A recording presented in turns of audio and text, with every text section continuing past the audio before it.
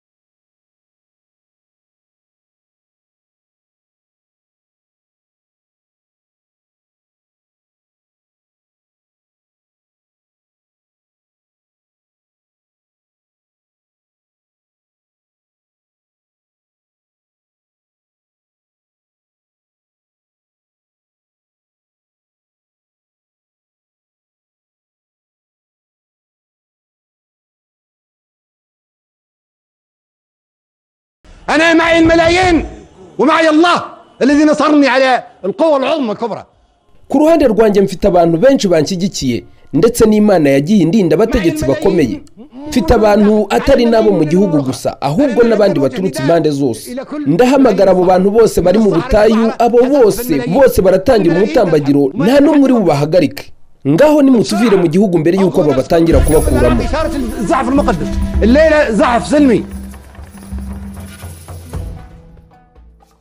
mbere yo kuvuga kuri kadafi na libiya n'urupfu rwe reka turebere hamwe ko libiya imaze iminsi ihagaze. Samu muho mu nkuru yo muri global research ifite umutwe ugira uti libiya coming full circle when a deemed conspiracy theory becomes reality. Uyu atangira avuga ko niba hari umuntu waba uhakana ko gehinomu n'ikuzimu bibaho atakwirirwa ajya kure ngo abimenye ahubwo icyo asabwa ari ukwerekeza mu gihugu cya libiya agakurikirana amahano ahakorerwa umunsi ku munsi.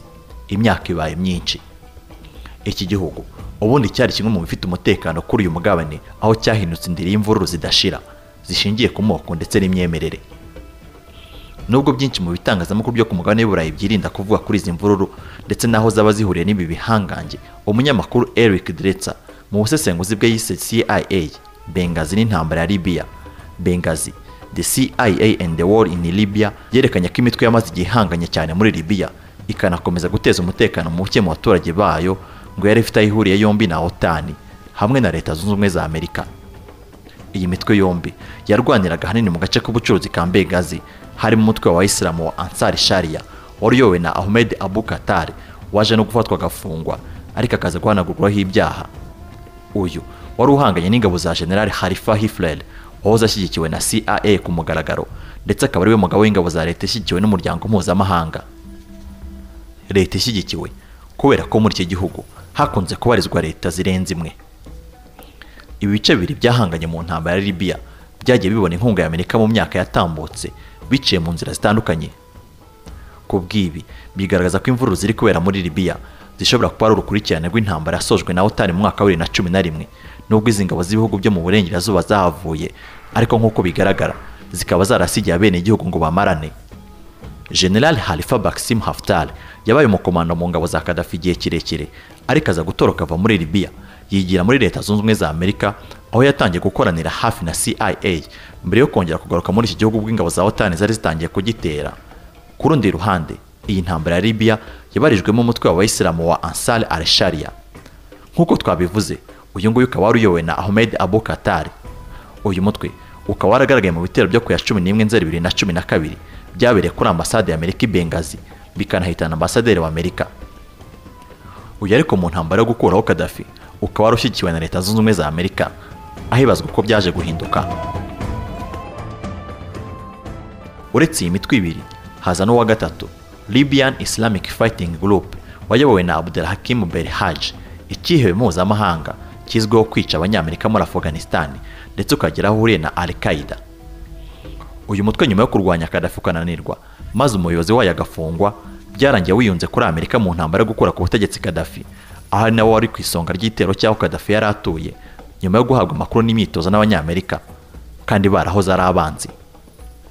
Uwo ni undi mutwe wamaze igihe kinini mu ntambara ya libiya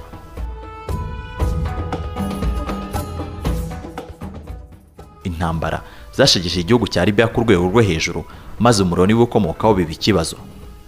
Amafaranga ava mu kugurisha ibikomoka kuri peteroli agabanuka agera kuri mirongo irindwi ku ijana. Kuva mu mwaka w'ibihumbi bibiri na cumi na gatanu abarenga ibihumbi bitanu nibo bamaze kugwa mu mirwano. Ndetse nk'uko anderson john lee yabyanditse muri the new york ya tariki cumi n'umunani gashyantare bibiri na cumi na gatanu hafi kimwe cya gatatu cy'abaturage ba libiya bahungiye muri tunisiya kuri ubu usesenguye neza ibiri kubera muri iki gihugu. Usanga uruhare runini rw'umutekano muke uhabarizwa rufitwe n'imitwe y'ubutasi ya amerika. Yagiye ibigaragaramo kuva ku ntangiriro. Urebye neza uko intambara yagiye ijya mbere usanga mbengazi ariyo yabaye ihuriro ry'aba barwanyi bava ahantu hatandukanye. Ku ruhande rumwe niwo mujyi w'ingenzi nyuma ya Tripoli iyo yamaze kugabanywamo kabiri bityo uwawegukana byaba bifite kinini bivuze. Ku rundi ruhande niryo zingiro ry'amakimbirane y'akazoza ka Libya Hifter yashakaga kwigarurira iki gihugu kugira ngo atume kinoza ubuhahirane n'ibihugu byo mu burengerazuba. Mu gihe Ansar al-Sharia hamwe n'indi mitwe y'abayisilamu basanga Libya yakagizwe igihugu gihamye cy'abayisilamu kinagendera ku mahame ya Sharia. Hirya y'iyi mitwe ariko hari abagabo barebera ariko ari bo bari ku isonga ry'ibi byose. CIA na Amerika. Bityo intambara ikaba ikomeza kandi nta herezo ryayo rigaragara.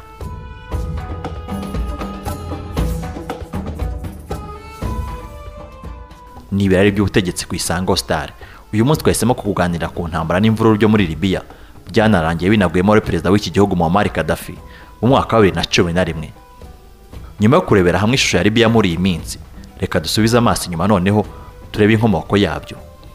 Ibi biratujyana hambere cyane ku ngoma ya muammar gaddafi utaracaga imbizi n'abo mu bihugu byo mu burengerazuba bw'isi.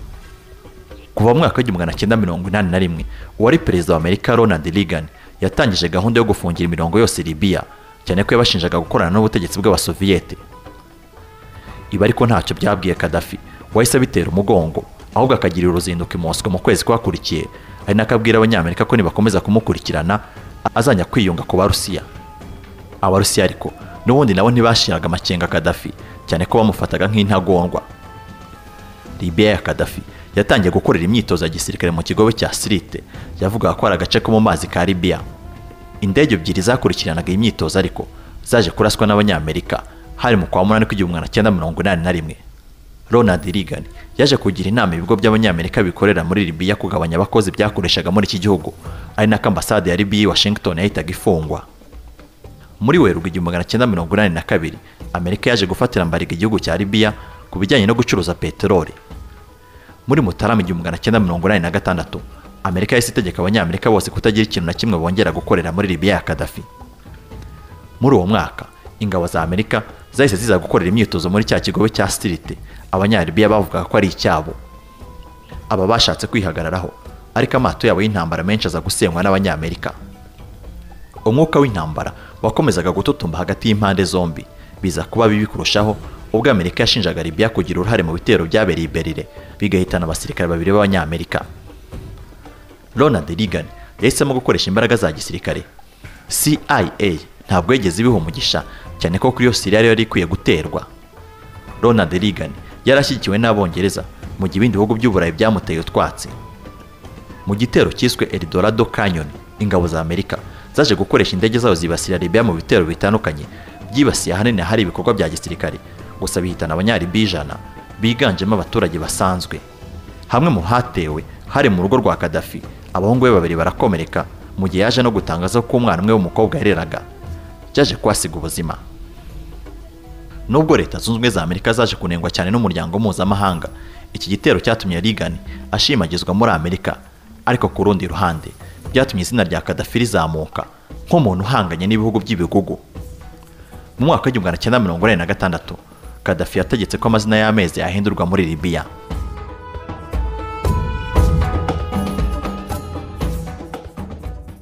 ni ibirari by'ubutegetsi turacyakubwira ku mvururu zo muri libiya byanarangiye ziguyemo uyoboraga iki gihugu muhammad kadafi imyaka umunani irashize. Imyaka ya za mirongo inani. Yasize amerika na kadafi badacana uwaka. Gusa ibintu byanakomeje kuba bibi kurushaho. Ubwo kadafi yatangiraga gushaka gushyiraho leta ubumwe za afurika ubwo ikinyejana cya makumyabiri cyasaga nk'ikigana ku musozo.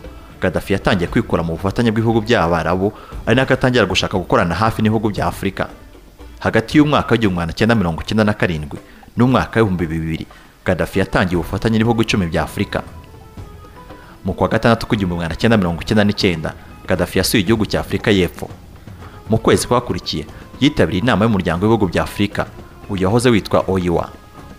Aha kadafi yatanze igitekerezo cyo gushyiraho leta zunze ubumwe za afurika. Kadafi yaje kuba umwe mu batangije umuryango wa african union wasimbuye oyiwa muri kamena mu mwaka w'ibihumbi bibiri na kabiri. Mu nama ya gatatu y'uyu muryango yabereye Tripoli muri Nyakanga ibihumbi bibiri na gatanu Gaddafi yatangaje ko muri Afurika igihe kigeze ko bareka gukurikira abanyaburayi nk'impumyi ko bakwiye kwishyira hamwe ubwabo aho yatanze igitekerezo ko hashyirwaho pasiporo imwe ndetse bagashyiraho n'ifaranga rimwe aho yashakaga ko bakoresha intego igira iti leta zunze ubumwe za afurika niyo mizero. The united states of africa is the hope.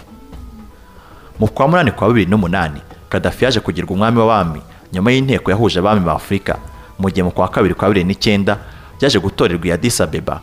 Nk'umuyobozi w'umuryango wa afurika yunze ubumwe. Muri nyakanga bibiri n'icyenda kadafi hamwe na perezida wa venezuela Hugo Chavez bafatanyije kwamagana igitugu cy'abanyaburayi.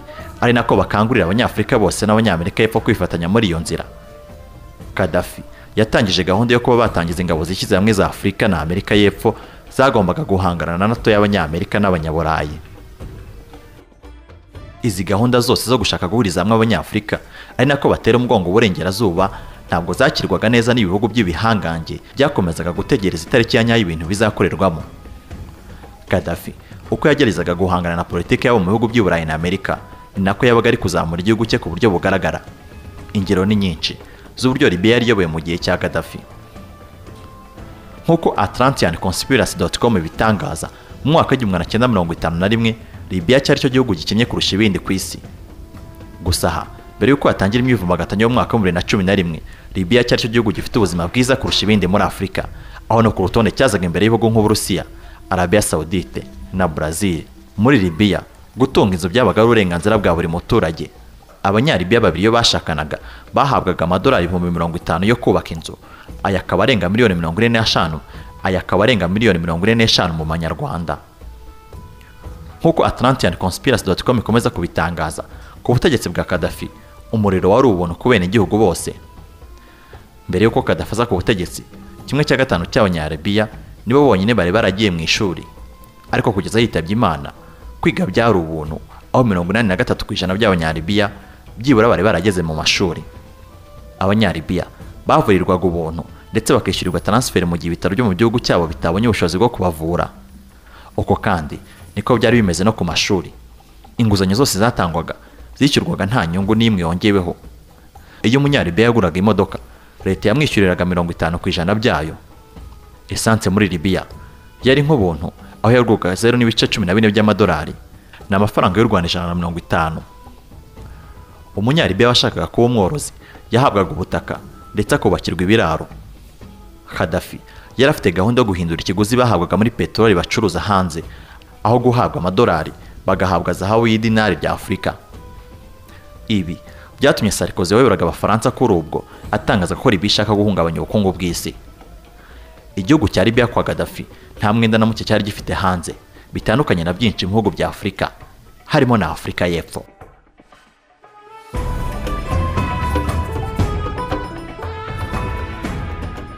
Ese ibintu byaje gupfira he? Ngo waririmbwaga yishwe urw'agashinyaguro intandaro y'intambara yabaye ku bihugu byo mu burengerazuba bw'isi. Bitashakaga gukomeza kureba uburyo libiya ishaka kwigarurira ubukungu bwa afurika ari nako batangira umugambi wo kuyitera. Ubwo yaterwaga gadafi yashinjijwe kwicuruza abaturage be hamwe no kuyoboresha igitugu. Uwari perezida wa amerika kuri ubu barack obama yaje gutangaza ku giti cye ko bagombaga gutera libiya kuko iyo batinda bari gusanga igihugu cyashizemo abantu. We knew that if we wanted twari tuzi icyo dushaka. Iyo dutegereza undi munsi bengazi umujyi mwiza utuwe ku bwinshi wari bwibasirwe n'ubwicanyi bwari no gukora ku karere ndetse bikagera no ku isi yose.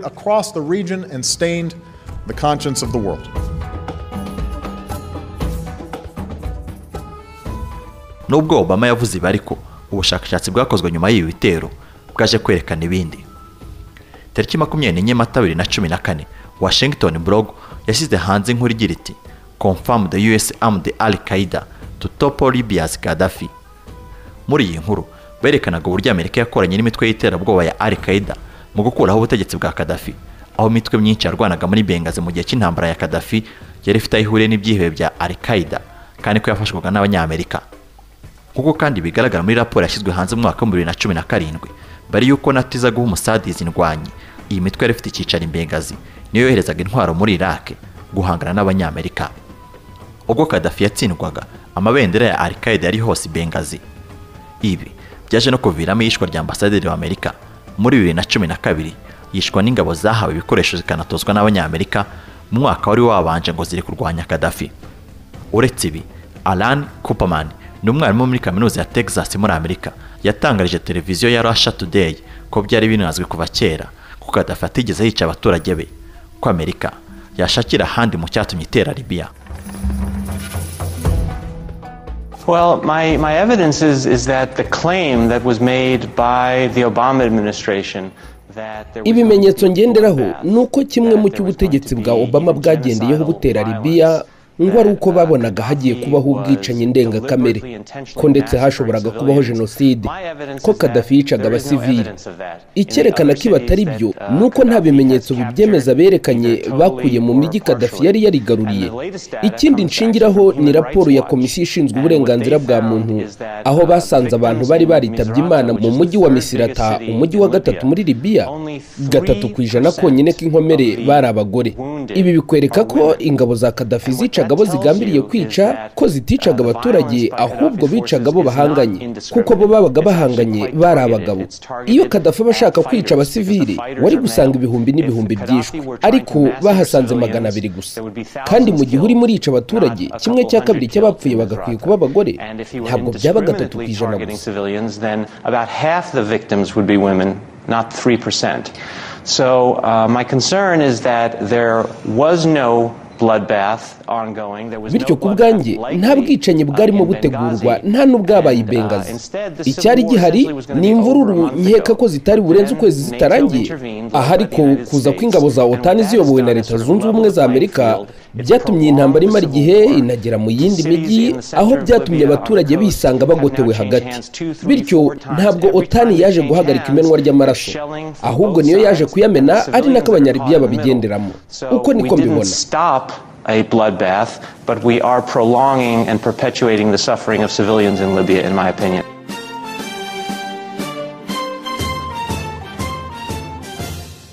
Nk'uko bigaragara mu bushakashatsi bwakozwe na Bruce St John muri bibiri na cumi na kabiri nyuma y'uko inyeshyamba zari zishyigikiwe na nato zigaruriye tiripoli na libiya yose kadafi ngo yaba yarashatse kugirana ibiganiro na zo ngo atange ubutegetsi ku mugaragaro nyuma yo kwemera gutsindwa. Ibi ariko ngo inyeshyamba ntabwo zabikozwaga bituma yarakomezaga guhindura ubwihisho umunsi ku munsi kugira ngo arebe ko yazihunga. Aho yabaga ari ngo yabaga atuje yisomera korani ibi ntabwo byatinze. Tariki ya makumyabiri ukwakira bibiri na cumi na rimwe kadafi yari ageze mu cyaro cya sirite ashakirayo ubuhungiro. Aha ariko yaje guterwaho amabombi n'ingabo za nato zisenya imodoka cumi n'enye mu zamuherekezaga. Ari nako zica abagera kuri mirongo itanu na batatu kadafi n'abari bamwegereye ba hafi bashatse aho baba bakinze umutwe gusa bisanga mu gace k'inyeshyamba.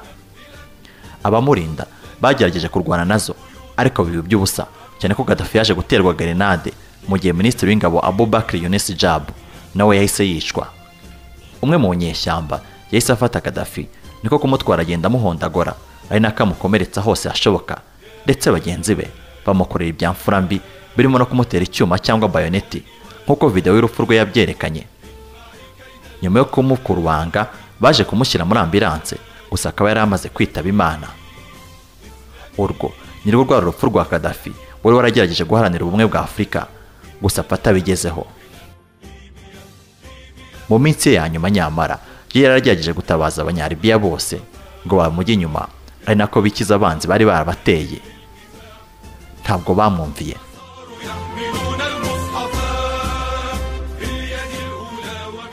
هذول اللي وراهم اللي يقوموا بالعمل هذا يعطينهم حبوب راهو مش بإرادتهم الله أكبر إذا لم يتحقق كل هذا abo ni bo bantu babiri inyuma. Barimo barabaha ibikoresho mu kuri basa nk'abari gukoreshwa. Nibitajya mu buryo byose tuzakora urugendo rutagatifu. Yego tuzigaragambya kuko kadafi ni we muyobozi w'igihugu. Hari amamiliyoni y'abaturage banshyigikiye. Ndahamagarira buri umwe wese ahari kuva ku mpera z'ubutayu kugera ku zindi.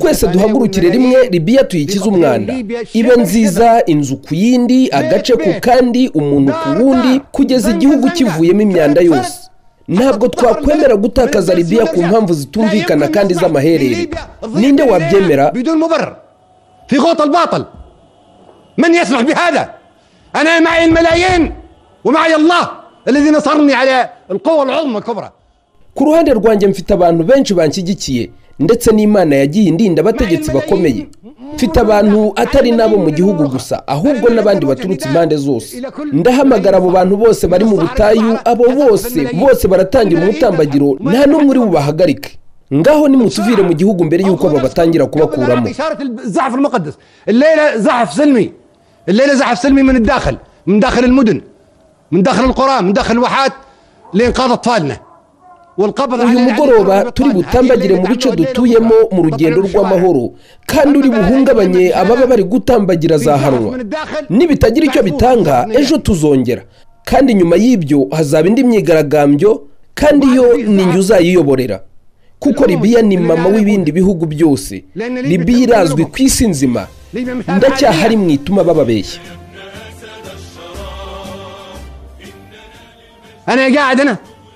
ما يكذبوش عليكم